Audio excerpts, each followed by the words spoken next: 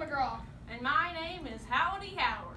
and you're watching Republic of Texas News. First up, the weather. Hey guys, I'm Hoist McDoodle. Today and for the rest of the week, we have good, mild, and sunny weather, except for on Thursday when we have a Thursday rain showers to get your daily dosage of happiness. Remember to stand outside for a good 10 minutes in order to get your uh, dopamine, serotonin. I crack myself up. Bye, y'all.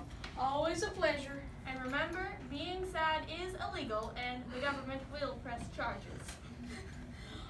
All right, now it's time for sports. Howdy, y'all. I'm Cowgirl Pony, and uh, public execution has never been more your favorite criminal uh, fight to the death.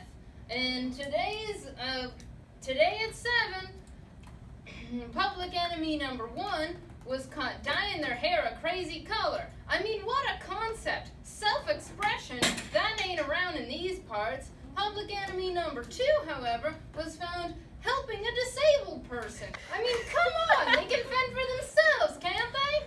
It's a lie! It's all a lie! The government is controlling us! The rain isn't making us happy, it's controlling us! Sorry about that, folks. Now, Forget everything she said. now remember, rebelling against the government is and always shall be illegal. Right. And uh, the best race is our race, and that's all we have in sports. All right. We're back online. Oh yeah, we are. All right, so I I heard some interesting news today. What about you? Ah, the Alabama is thinking about rejoining the Republic of Texas. You think about that? Well, they're coming from the U.S., right? The U.S. is stupid. The only good thing they have, they got from us. Our Second Amendment rights. Now,